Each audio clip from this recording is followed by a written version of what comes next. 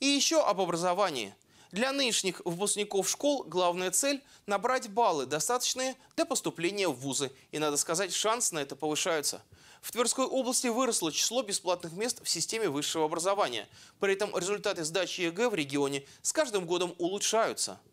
Так, в прошлом году 100 баллов по русскому языку получили 57 человек. В позапрошлом 33, а годом ранее лишь 23. Если же взять все предметы в целом, количество 100-бальников выросло за год с 53 до 91 старшеклассника.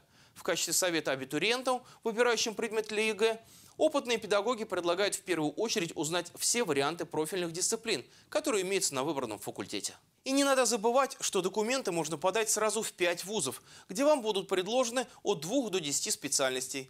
Также не ограничивайтесь двумя предметами на выбор. Возьмите еще парочку, про запас.